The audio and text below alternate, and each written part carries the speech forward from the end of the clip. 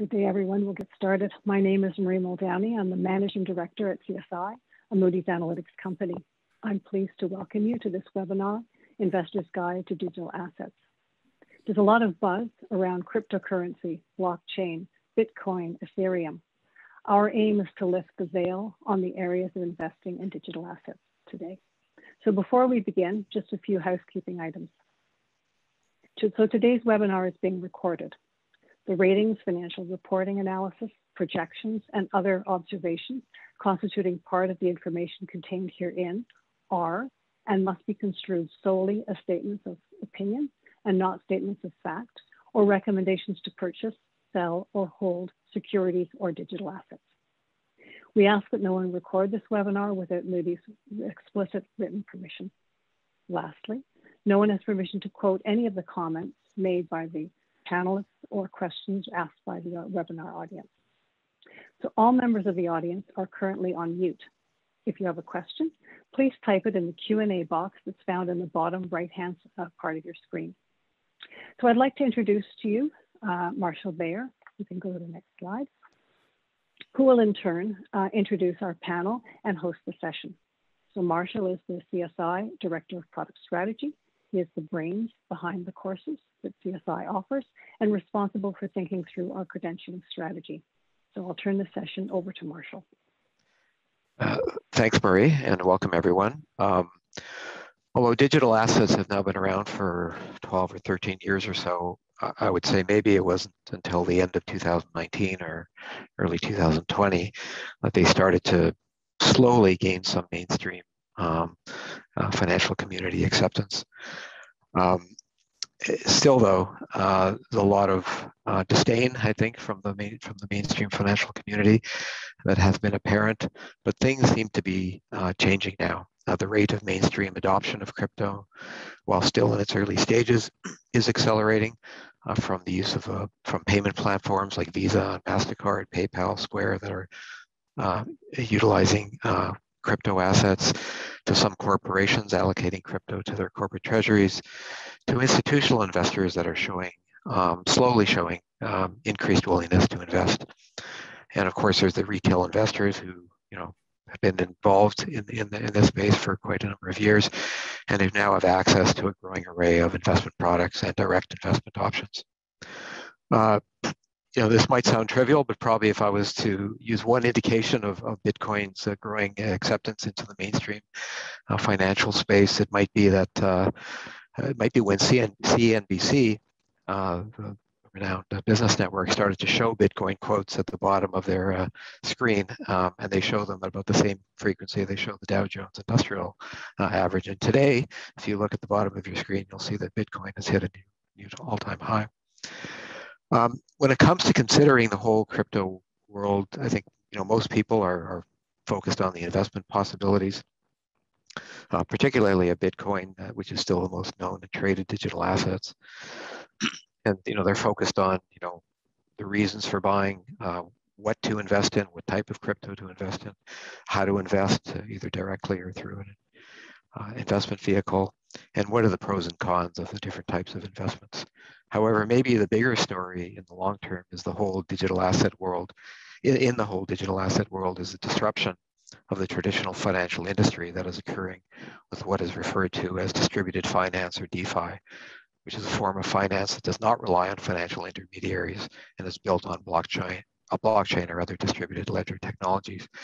Anyway, today we're going to discuss what the blockchain and digital assets are, why they are so transformational, and what are the different ways um, uh, to invest. We have an excellent, excellent panel um, to um, uh, discuss these points. Uh, our first speaker is Wei Shi. He is a director and co-head of marketing strategy investments, uh, the capital markets group at Op uh, Trust. Uh, OPTrust is one of Canada's largest pension funds that administers the Ontario Public Sector Employee Pension Fund, fund uh, which is a defined benefit plan with over 98,000 members and retirees. Um, Wei is leading the development of a crypto uh, digital asset investment strategy. um, we also have uh, with us um, Victor Lee, uh, who will be our second speaker. Speaker Victor has been in the cryptocurrency space since 2014. He is a co-founder of DeFi Toronto, a community group that advocates decentralized finance as a use case of public blockchains. In 2020, he and his team won the first prize from Aave during ETH Global's DeFi hackathon. Uh, Victor teaches a blockchain course at York University and serves on George Brown George Brown College's Blockchain Development Program Advisory Committee. Victor has over 20 years of experience in investment research and portfolio management. Uh, he used to cover macroeconomics, real estate, fixed income, and equity research for pension funds. He has a master's degree in applied economics from the University of Victoria and is a CFA charter holder. Um, our final speaker will be Sean Cumby. Sean is asset manager and venture um, uh, works for asset manager and venture ca capital company focused on digital assets. Ar Arx Novum is the name of the company, Arx Novum Investments, which he is the CEO and founder. Um, he's focused on Canadian and US early stage ventures in the digital asset ecosystem space, from custody to trading platform to services.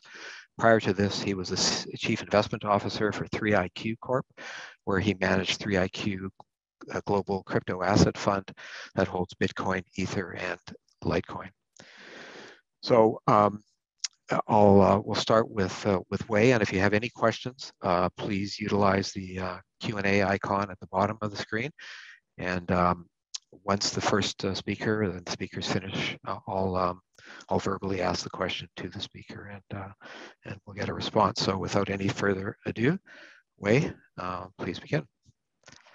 Thanks, Marshall. Uh, thanks for having me here. Um, I'm going to start off the conversation here uh, with the description of what are blockchains and digital assets. And I think one of the most important things to act is, is to actually make a distinction between the two terms. Um, so I'm going to cover blockchains first, and then I'm going to talk about digital assets. Uh, if you can go on to the next slide, please. Perfect. So um, pr probably the starting point to think about um, blockchains and this digital ecosystem is to uh, understand it through analogies that are perhaps easier to um, conceptualize. Uh, one of the ways that I try to describe what a blockchain is, is to relate it to infrastructure. Um, the starting point is to imagine physical infrastructure, uh, things like roads, railways, sea routes, airways, um, this, these are uh, critical channels that allows um, global commerce uh, economies to function because what, what they allow us to do is really to transport um, both information and value in a physical format. Um, so digital, um, uh, physical infrastructure, very easy to understand. We see it, we, we use it every single day. And it, it's a critical enabler of modern society. Um, similar to physical infrastructure, there are um, infrastructure that are more digital. Uh, the one that we perhaps understand uh, better today because we have been able to interact with it for the last two decades or three decades is the internet. And really, what the internet allows us to do is that it's a critical piece of digital infrastructure um, that allows us to transmit information, just like we're able to transport information in the real world. Um, blockchain, similarly, is a, another layer of digital infrastructure. Uh, this time, instead of uh, providing the capability of transmitting information, it allows us to transmit value in the digital world. Now, uh, as you can see, the complement of the internet and the blockchain together uh, really starts to create a digital uh, parallel to our physical world. Um, so uh, many times when people start talking about crypto and blockchain, it's it's really a layer of digital infrastructure that's very complementary to the internet, and they they, they kind of work symbiotically.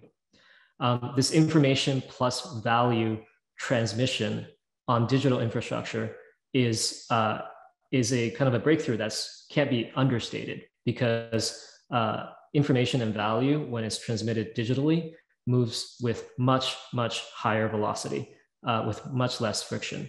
And what you're able to get is um, economic activity uh, in the magnitude and degree that we perhaps rarely see in the physical world. So, and this will be, become important as I think uh, Victor and Sean will probably cover the implications of these technologies later on.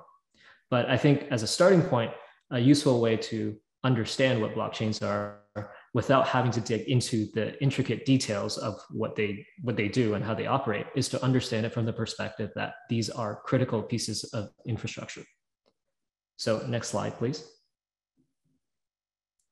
Okay, so now that we've established what a blockchain is, what exactly is crypto? And, and many times people perhaps think both terms refer to the same thing, when in fact it's actually separate and distinct items. So the way to actually think about crypto is to think about it as a container. And what this container does is that it contains value as opposed to information, uh, which is exactly what we just talked about before. So maybe let's start with the internet. And what on the top half of this slide, the top panel, um, I start with information. And this, let's say, is the internet. Okay. On the internet, there's actually um, two layers. The base layer is the transmission layer, which is call it the infrastructure of the internet itself, the cables um, that um, basically connects the entire world and allows us to transmit this digital information. But what's moving on top of the internet is actually content, right? And content comes in many different formats. You know, it can be pictures, it can be songs, it can be you know blog posts, etc. But all of these things are different versions of information. Um, and it's contained in these little containers called information packets, right? And these containers move information on the infrastructure layer that's called the internet. Okay, so this is, you know, in, a, in the abstract, kind of how the internet works. Now, is there a parallel in the crypto world? Absolutely. So we talked about blockchain as the value layer. And similarly, blockchains also enable this transmission for value. Um, so as denoted by the bottom kind of icon there, the blockchain is the transmission layer, is the infrastructure that allows these containers to move on top of. But what are these containers? These containers are, in fact, crypto. And what crypto contains is actually any type of information format can be contained in crypto. And what you now have is a marriage between the content and the value moving in little packets of containers on the internet and the blockchain. So if you click one more time on the slide, um, what, you, what you see is that actually crypto is just a general purpose container. It's a software container. You can drag and drop effectively any type of content be it images, be it audio, be it um, text format into these containers. And all of a sudden, you now have a, the ability to ascribe value to all of these pieces of the content. And in fact, if, if you are following crypto uh, or just general headlines, you would, you, would, you would have undoubtedly heard about NFTs and how these like pieces of art can be worth millions of dollars. And really, this is a way to understand what NFTs are. It's just a digital piece of content in NFTs, mostly images, that's being dragged and dropped into a value container called crypto. And all of a sudden, you have uh, an asset um, or a, a piece of content or property that now has a commensurate value represented in this value container that is crypto. This value container can now uh, move frictionlessly on this infrastructure layer called the blockchain. Um, maybe there's an additional question here in terms of, okay, if crypto is actually a container and is containing something of a content, um, then what, what exactly is Bitcoin and what exactly is Ethereum? Well, um, if you click once more, the way about the way to think about something like Bitcoin, sorry, if you go back, yeah, the way to think about Bitcoin is that Bitcoin is the, uh, is in, in and of itself a, a um, predefined content within the, the crypto uh, container. The content of Bitcoin is actually just a ledger. It's a record. And I think Victor is going to talk about this a bit more in terms of the, uh, the significance of um, something like crypto. But in Bitcoin, really what the content is, is a ledger or record keeping of who owns what. Okay.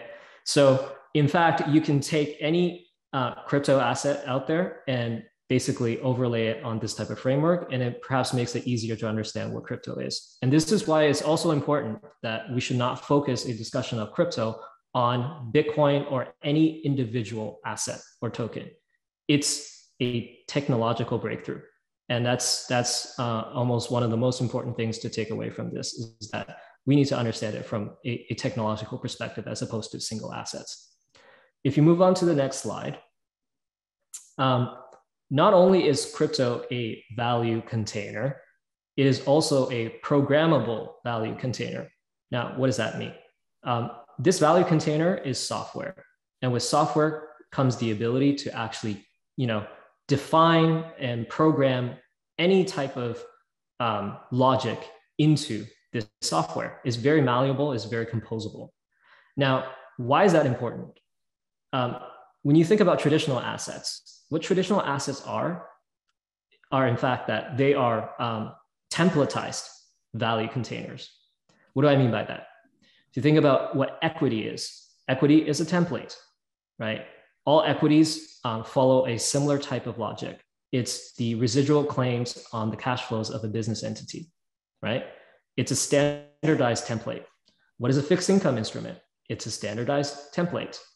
So currently in our world, all of, all of the value that's currently um, kind of captured through different types of assets actually operate through templatized versions of what value ought to be.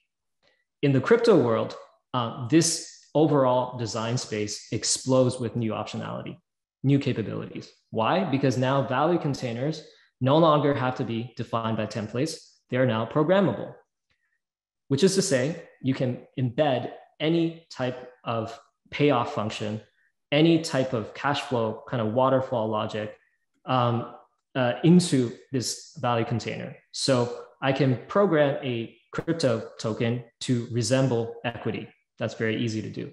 I can also program a crypto token to resemble fixed income. However, I can also compose and mix everything together. I can have something that actually simultaneously have all of the properties of equity and fixed income. I, I can also strip away the different uh, aspects of an equity um, asset and just uh, reserve the one that I want to um, preserve for a particular token. For example, um, equity usually comes with ownership rights, it comes with governance rights, it comes with cash flow rights. What if I just want the governance rights and not the other two? I can do that with crypto. Why? Because it's programmable. So in the world of crypto, um, assets and value are now programmable. This is a, a profound difference than the world that we currently live in, and it leads to incredible amounts of innovation and experimentation um, that's currently unfolding, um, particularly within decentralized finance. Um, so uh, can we move on to the last slide? What I'll leave is uh, this uh, kind of conceptual slide in terms of uh, a, a, preview of what, what is it that could uh, become as a function of this technology, uh, continuing to kind of evolve and innovate and create new solutions for our lives. We understand that the internet transformed media and communication, right? Prior to the internet, media was very, um, uh, you know, fragmented. There were different channels for different types of information delivery. You consumed content differently. You consumed them from uh, distinct uh, verticals or channels. Whereas uh, with the advent of the internet, um, the internet provided a common infrastructure a common platform for all different types of communication to now um, happen on this uh, shared platform on a global scale. And what we got out of that is um, new capabilities, uh, new ways of consuming content, much more powerful ways, much more immediate, timely ways uh, that we've never had before.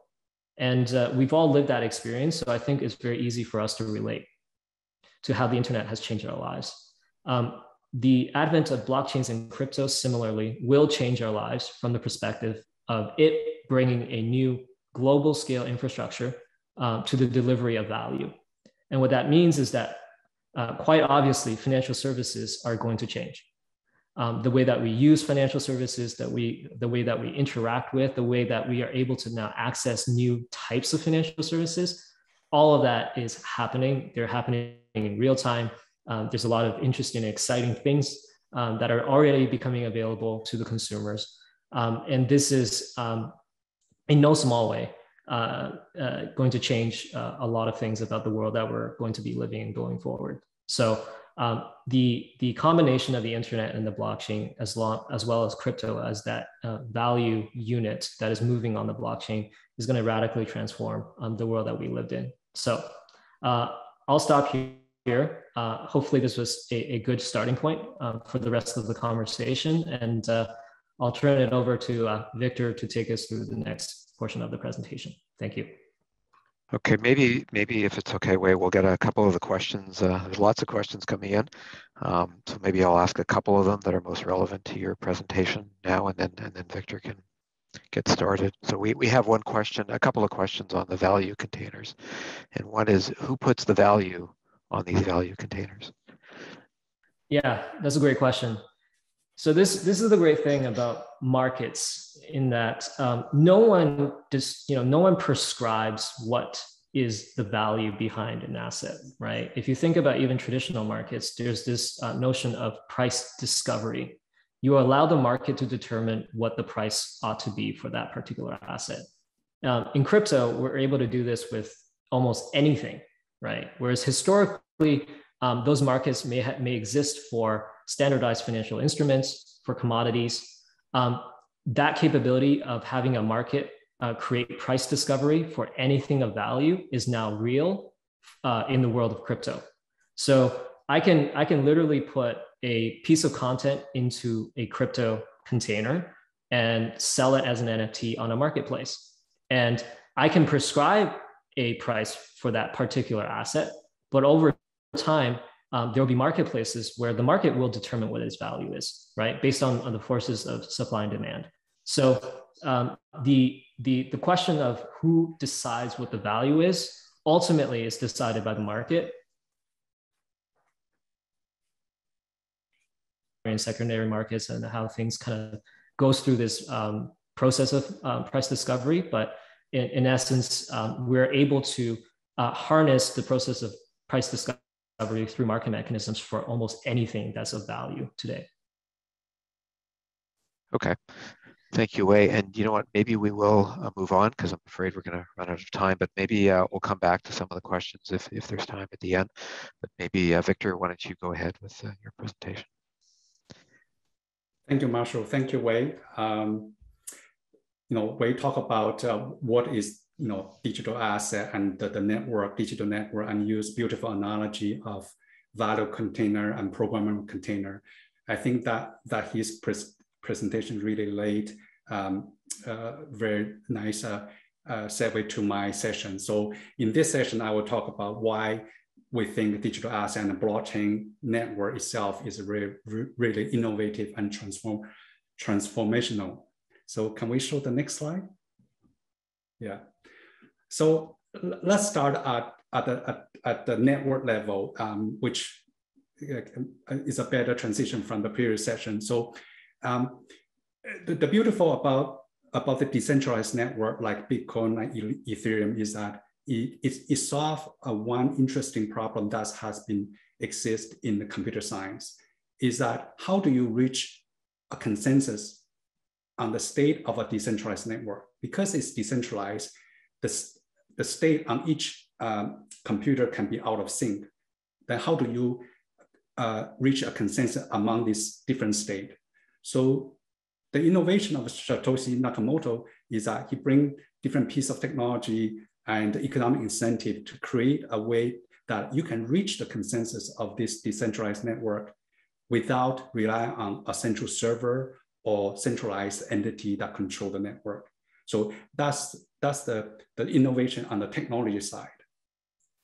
Uh, another aspect is that it is uh, open and, uh, and decentralized and also permission, permissionless.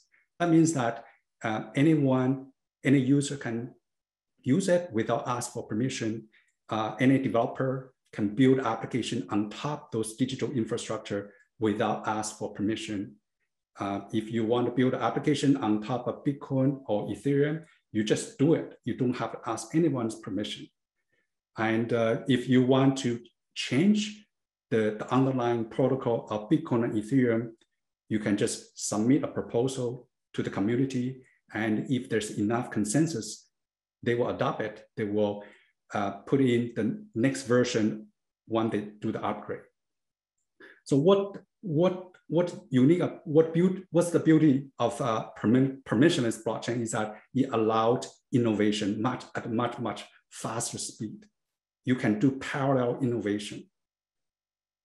So if you invest in the native token of those network, you effectively invest in the digital infrastructure.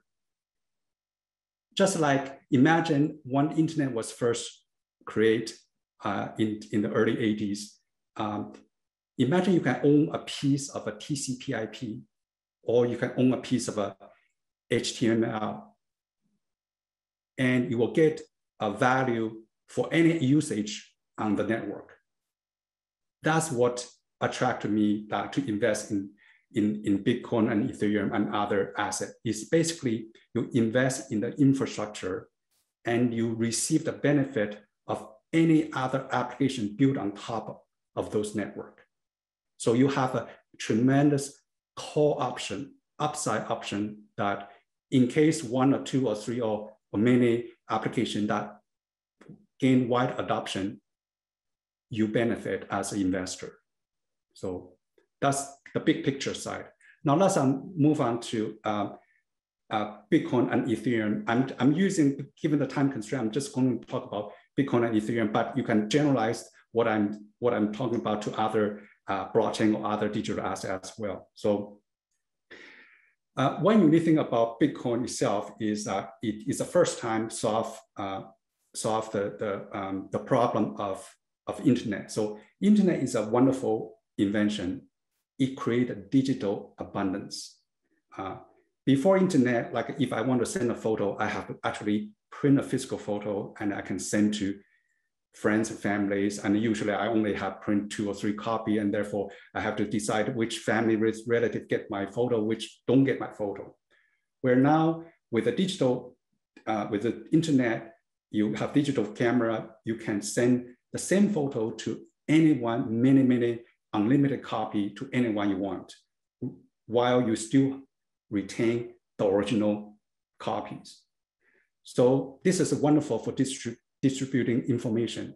However, it is not ideal for distributing something has value, you know, like money, like stock certificate, uh, like uh, you know other digital asset. So uh, what uh, Satoshi Nakamoto invent is that it bring back the scarcity back to the digital world. So we need both. We need both digital abundance, but we also need the digital scarcity. So that's the, the contribution of Satoshi Nakamoto. So that's first thing about Bitcoin, unique about Bitcoin. The second thing is um, money. You know, we always always say Bitcoin is a money, is an e-cash. Um, and it has gained a lot of traction. You know, the, currently the, the value, the market cap of uh, a Bitcoin is 1.2, about 1.2 trillion dollar. So if you rank all the um, all the market cap among the, the global equity market, it will rank about number seven. This basically it's a seven. If it, it if Bitcoin is a company, is the seventh largest company in the world. But but that's not the market cap is not uh, uh, not only thing uh, you should pay attention. What you need to think about is, is a decentralized money that not controlled by state. If you look around the world, we have you know over about 180 countries. Almost almost every country that the national currency is controlled by the state. And we, we do have some private money. Uh, for example, you can think about uh, Canadian Tire money is private money. We actually in uh, in uh, in 1998 to 2013, we actually in Toronto we have Toronto dollars, and mostly are set by merchant at the at the St. Lawrence market. So those private money is very limited. You know, confined to uh, a small economic area or or even sometimes just one store, you know, in case of uh, Canadian Tire. Um, for the legal tender for the national currency is always controlled by, by the state. Now, as more people adopting Bitcoin as a payment, as a medium exchange, you could see the separation between money and the state. It's still too early to say whether this experiment is this uh, social experiment will succeed or not. But so far, the trend is pretty positive. So that's the two things I want to talk about uh, Bitcoin. Now let's move on to Ethereum.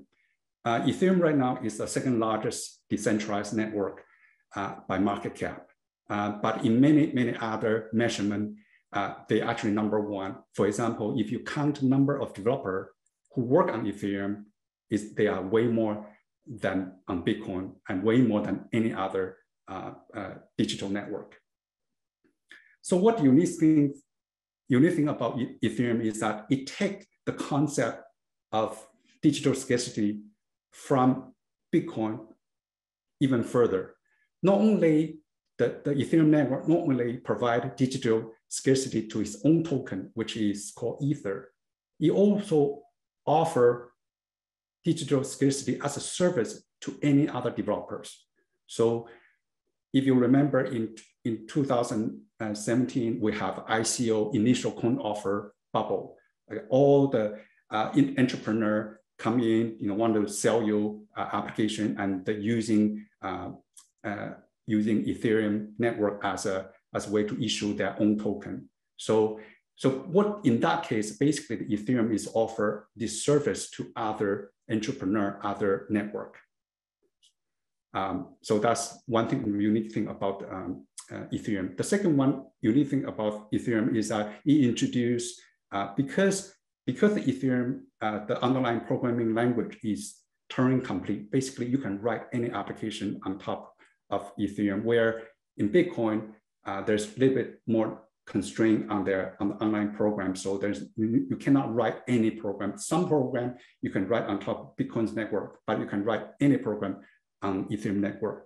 And one of the innovation is that they create this, this uh, uh, small uh, application uh, uh, program called smart contract. So effectively, you and I or any people uh, can come to agreement and then they can code your agreement into the smart contract.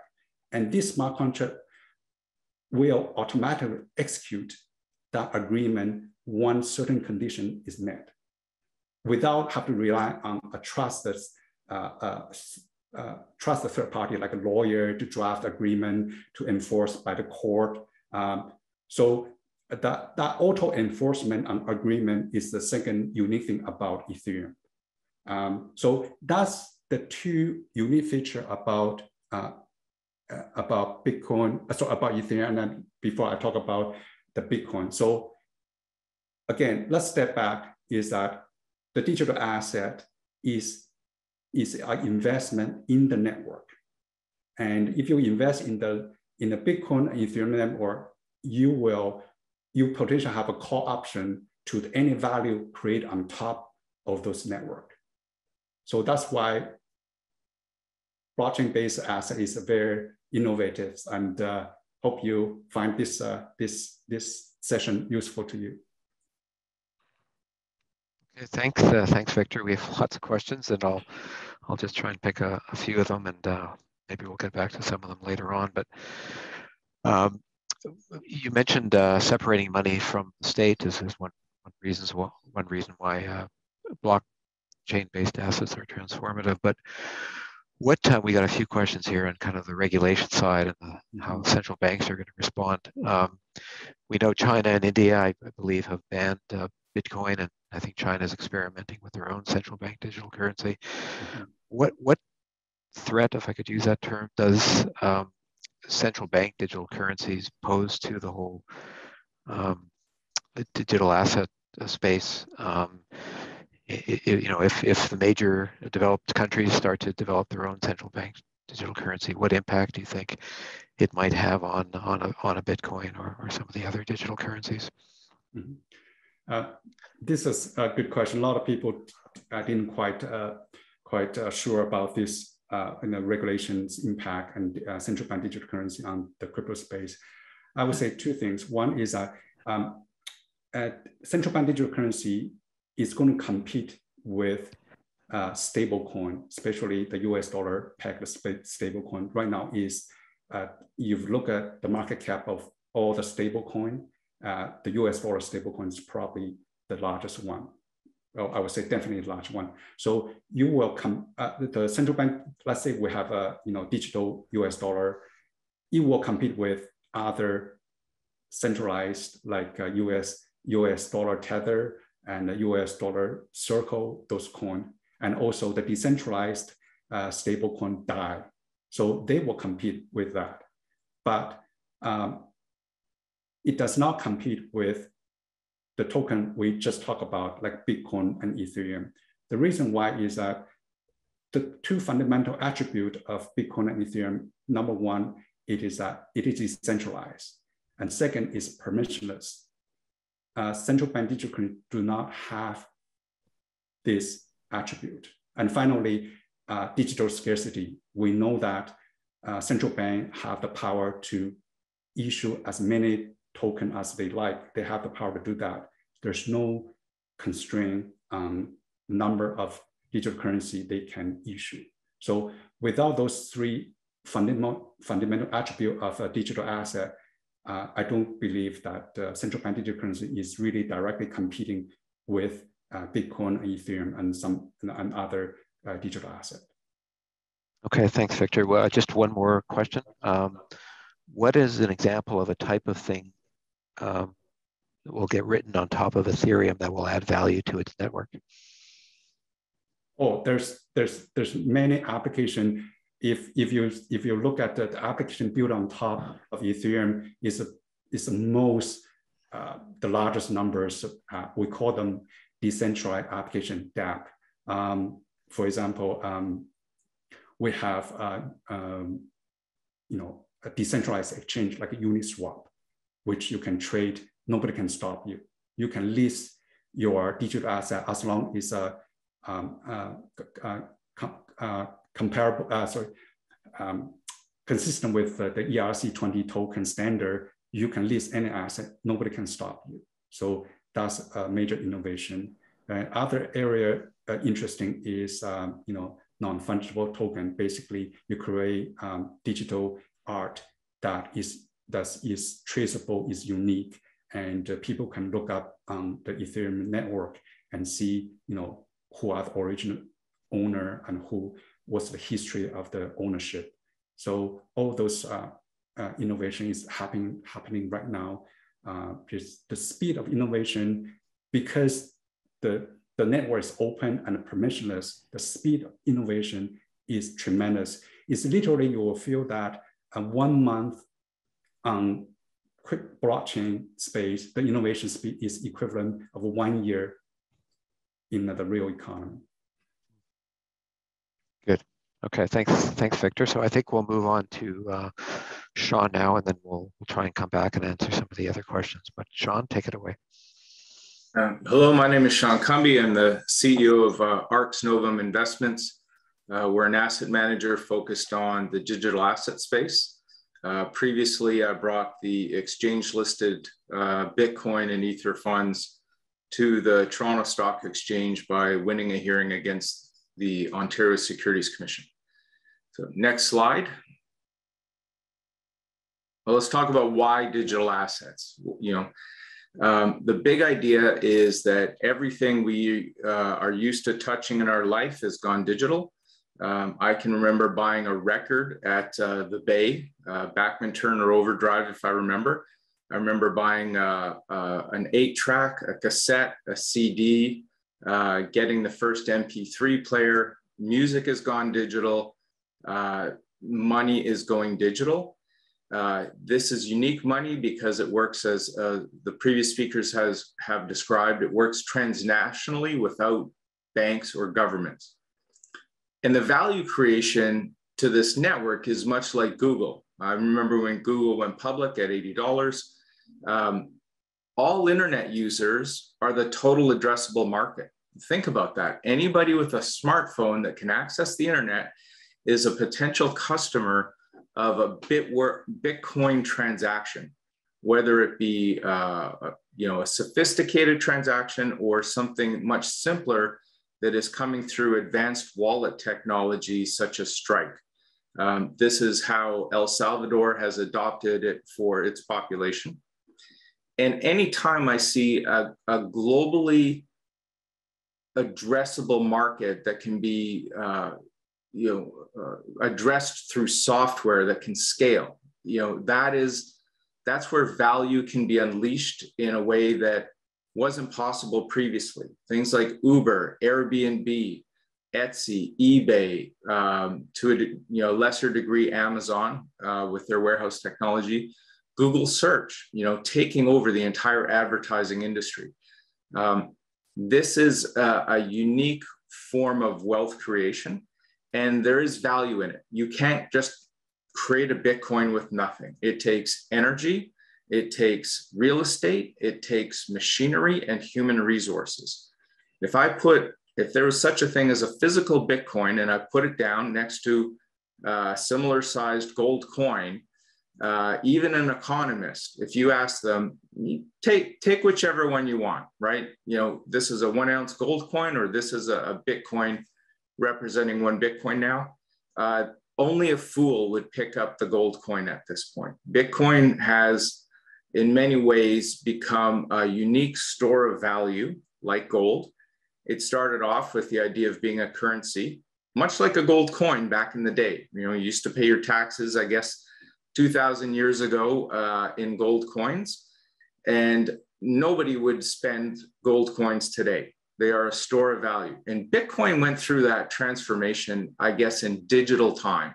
It uh, took less than four or five years from when people were thinking, oh, we can pay for a Starbucks coffee with Bitcoin to it being thought of as a store of value. And in our view, and we'll be writing uh, uh more about this idea on our website, arxnovum.com, um, we think that the end game for Bitcoin is that it becomes a collateral layer between financial intermediaries. And if, if that happens, uh, that's when the crazy numbers come up of $500,000 plus per coin. Not financial advice, just a, a theoretical projection. Today, with CPI coming in at 6.1, um, a shockingly high number, uh, we saw Bitcoin rally to its new all-time high of $68,822 US, um, very timely for us to be having this conversation. We're uh, just below that number now at $68,676. Anytime you have money printing like we're having now, um, you want to own things which cannot be debased. So fixed assets, and in that camp, gold, real estate, fine art fall into those camps. And Paul Tudor Jones, when he famously said, you know, I'm betting on the fastest horse, which I think is Bitcoin. He recognized that it was kind of underutilized amongst his peers. And as it got traction, it would likely appreciate even faster than those other assets. And indeed, it has. For all other digital assets, Ether, Solana, even Shiba Inu, think of them as small businesses right? Small businesses where you could argue that you've given the vast majority of uh, revenue to the founders right up front. So they have to have fantastic governance models. And frankly, in 2017, most of them had some of the worst governance models I've ever seen. There were no boards of directors, though there was no way for you to correct uh, the path that some of these people were on, uh, which led to them going to zero. Now, and the value drivers for digital assets are different than for traditional assets. And that's what gives you the potential for diversification because they're not correlated as directly to interest rates, sales, consumer demand. This is a network growth phenomenon through digital innovation. Next slide, please. Now, when we look at the performance, right, our goal as investors is to beat inflation um, with our savings, ideally to see it grow through uh, productive use in an enterprise. We think that Bitcoin has this potential and it has demonstrated it over the last 10 years. We want to grow the value of our asset portfolio faster than we lose purchasing power from inflation.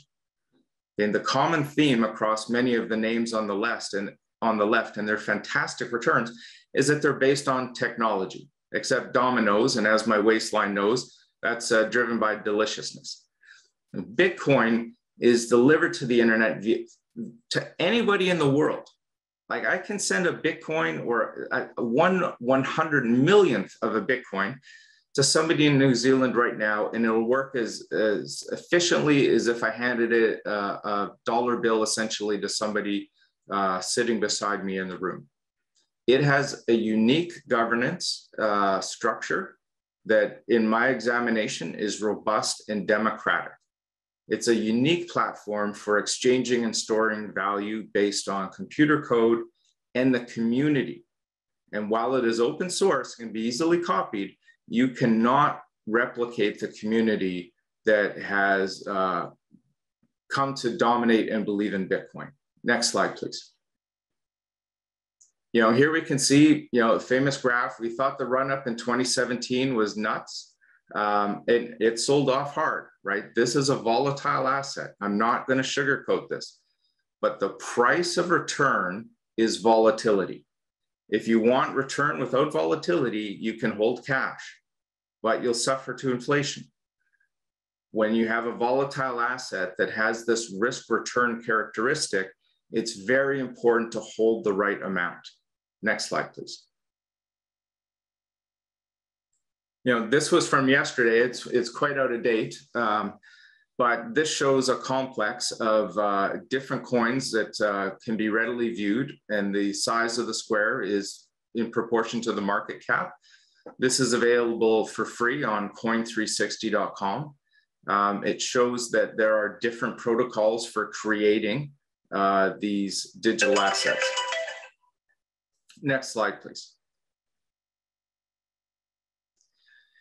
So the, the ways to get involved, like, again, this is volatile. There have been drops of about 50% in a day, uh, even for the biggest digital asset, Bitcoin, and 80% over the course of a year or two.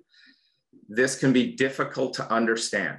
You know, uh, there are some great books out there right now. Um, Bitcoin billionaires, um, all, all kinds of uh, great introductions. And you'll see that when you read a book like Digital Gold, that this started off as a hard problem for cryptographic nerds.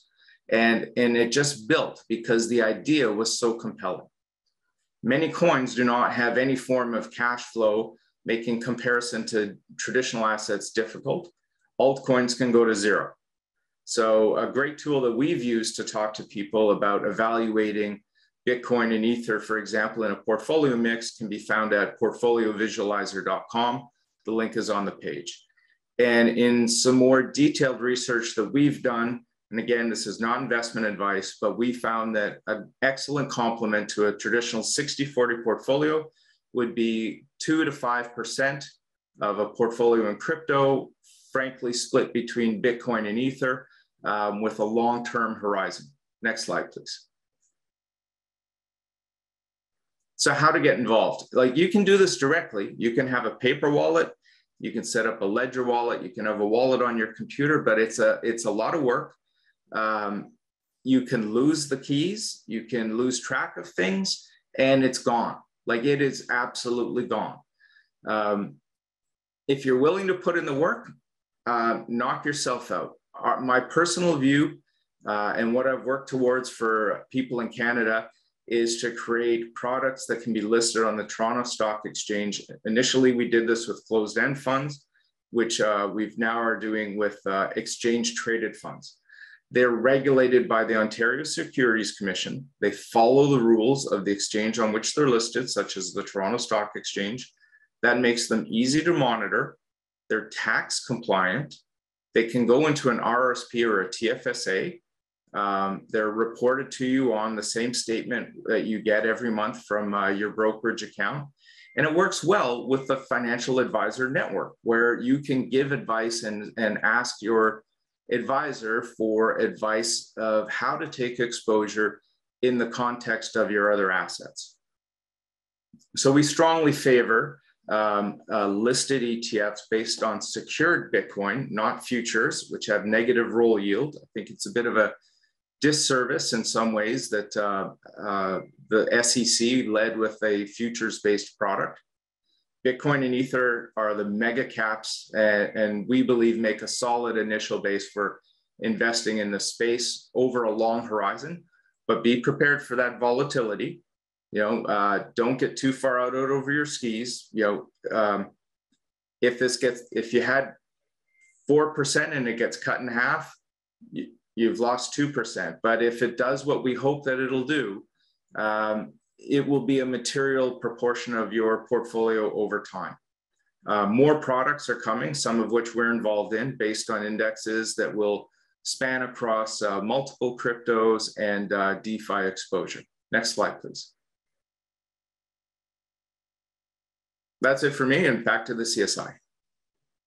Okay, thanks, Sean. That's uh, that's great. So there's lots of questions. Um, I'll try and pick the question, the uh, questions that are most frequently asked, because we only have about 10 minutes left in the, in the call. You know, I think one, um, in terms of the investment case for Bitcoin or other digital assets, um, I think Sean, you mentioned, if I got it down correctly, that that uh, one of its value cases is that it's a collateral layer between financial intermediaries. Victor, you talked about it being like a call option on on the growth of the whole blockchain network and all the different applications that are being built on top of it. And then, of course, there's the store of value um, uh, case, and maybe uh, Bitcoin and others are the new digital gold. So, what? And this may be a question to the to the whole group. You know, of these three, uh, um, you know, cases for for for Bitcoin, what is the most important? Or are they all equally important? Or how would you look at at it? Um, from an investment perspective?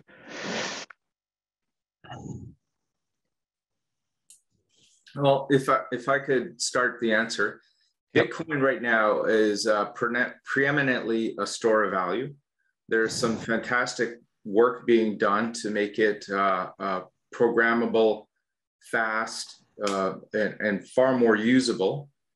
I think there's some, so you have a store of value with a call option on functionality Mm. Um, Ether was kind of the call was the the functionality, like the oil of the internet or copper equivalent.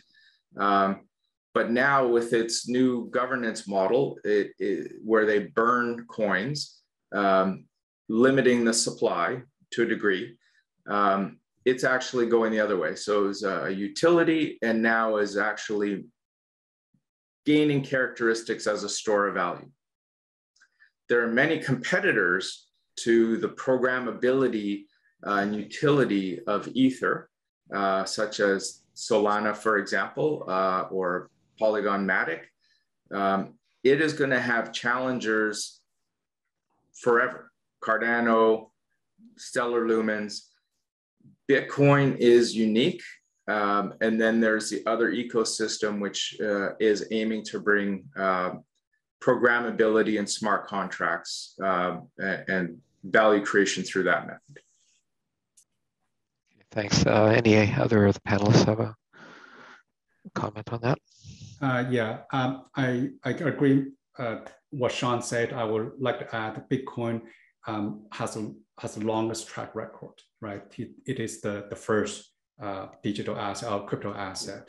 So you do have this uh, history of trust any new blockchain, a new crypto, it has to proven itself over time, be secure, being being used by more and more people. So so Bitcoin has this uh, um, a long, the longest history, the benefit of a longer history of trust. That's number one. Number two is Bitcoin um, compared to Ethereum and other other uh, programmable uh, uh smart con- uh, smart contract capable blockchain like Solana is that the, the narrative um, the narrative of, of Bitcoin uh, as a store of value because it's, it's, it's digital scarcity is very easy to tell. You, you can sell to, you can tell to people who are not in the computer science industry, not in the finance, they appreciate. As Sean noticed that the inflation number come out from US over 6%, that narrative of store value uh, uh, prevent uh, central bank to debase your currency, that story is very compelling and easy to tell. Yeah. Okay. So we have a question here on um, seems like we're still in the early stages of a, of a bit of an inflationary cycle, uh, although some think it's more transitory than others. But um, nonetheless, what what do you think would happen to Bitcoin if we if interest rates started to rise um, even aggressively to counteract uh, inflation and maybe at some point down the road we move into a deflationary environment? Any thoughts on what impact that might have on on Bitcoin? Yeah, maybe maybe I'll take that one. Um, sure. I think um, I think there there's a there's a different like frame of reference that people should take when they think about inflation versus deflation. First of all, uh, what are you using to measure inflation and deflation, right? Uh, we we've gotten used to the convention of using U.S. dollar or some type of fiat-based currency as a measuring stick. Um, I think that's useful in some ways and not so useful in other ways. I think in the most um, general terms, one should think about all assets in terms of their innate ability uh, to store purchasing power. Okay, so from that perspective, um, you, you start to have this like consistent framework where you can start to assess many different types of assets in terms of their ability to preserve purchasing power. And usually what you find is that uh, scarcity is a key determinant of purchasing power, the preservation of purchasing power, right? Um, because a, a, limited supply of something, so long as it does have utility, means that it's going to command um, a, a higher nominal price later on because it's hard to replace. It's hard to find a substitute. Um, in that case, you know, blue chip quality real estate is something of an asset that preserves purchasing power over time, and which is why you see luxury real estate always going up in price generally over time. Right? It's the same idea. It's scarce um, so from that perspective, whether you want to talk about inflation or deflation, I'm a little bit agnostic what type of regime we enter into. I just think about relative purchasing power. Can I convert one unit of something for more units of something else? And if I can find that something where I where I can use the least amount of units to purchase the most amount of units of any, everything else, that's what I, I want to hold. It doesn't matter if it's inflation or deflation. Um, so I think if you start to think about it that way, um, you know, it, it, may give you a different perspective on like um, portfolio construction, asset allocation, and what you want to hold in your portfolio. Good, thanks. Wei, any other uh, comments on that? Um, I would say um, if interest rate do go up, um, it does come, it does uh, take away a little bit of a demand from from Bitcoin or any other store of value. The reason why is that uh, bond become um, more competitive alternative. You know, you can store, um, you know, your your wealth in, in bond. Right now, the bond yield is so low. It, it's a real yield is basically zero negative. So people has to find other way to to invest for their retirement for their future. Um, but that said, I still very bullish on Bitcoin, even if in inflation, even if interest rate go up, because the adoption right now, the adoption, uh, you know, think about the population of the world uh, is small percentage, very small percentage. So there's a lot, still a lot of room to grow. And uh, if you if you feel that you know that story, that the uh, you know store value is not compelling enough in the rising interest rate environment, um, Ethereum perhaps is also an, an, an, a complementary uh, asset because uh, the, the Ethereum value is not just derived from digital scarcity, but it also derived on the growth of the Ethereum ecosystem, the application. To think about it's like a digital economy, and it will grow. And if the grow, uh, the economy grow, you you'll benefit. Okay, thank you. Um, there's a question here on the cycles linked to Bitcoin halvings every four years, which obviously contributes to the scarcity, uh, you know, uh, reason for investing in, in Bitcoin. Um, any comments on that and how uh, how in the future um, can uh, you know the the um, it's still there still be this limitation on, on, on the growth of on Bitcoin mining and I know it's supposed to uh, um, the growth is supposed to go to zero at some point in the future. Um, but how are we assured that that will happen or, or can that change at, at, at some point? So if I could take that one, the yeah. the supply of Bitcoin is, is truly unique. Uh, gets to the scarcity. because it's algorithmic. It is going to increase um, as is defined by the code. The code will not be changed. Um, every four years, the amount of Bitcoin that gets produced per day falls by half. Um, the next scheduled halving is, or next halving is likely to happen in May of 2024. After the past uh, two halvings, um, Bitcoin went up after the first halving by 90 times. Then it fell, went up by about 28 times after the next halving in 2016, and then it fell. In uh, you know, we had the halving in May of 2020, and it's risen substantially since then. Um, we think that there's still room for it to grow. The dynamic of institutions and companies such as MicroStrategy and Square, um, and now uh, payment processors, and for example, in the US banks like US Bank, uh, getting involved. We don't expect it to fall to the, in the same way it has in the past. We think that there's a, a new dynamic in, uh, in the store of value narrative for it. And we think into the next halving, it'll become more scarce than gold on, on a relative basis. And that's when its evolution into a collateral layer um, will evolve. We'll be writing more about uh, many of these topics that um, we've discussed here, like inflation and, and scarcity halvings, uh, and we'll be posting that research to our uh, website. Great, thanks, Sean. Um, maybe we'll take one uh, one more question. Um, I guess this has to do with uh, DeFi, uh, distributed finance, and the various types of financial services applications that are that are increasingly being offered. Um, can can the panel uh, speak speak to that and what um, you know, for example, take uh, borrowing and lending uh, um, uh, as as one of the types of applications. How advanced is that right now? Um, how easy is it to um, to access? Um, so maybe maybe Victor or or you know can start with that.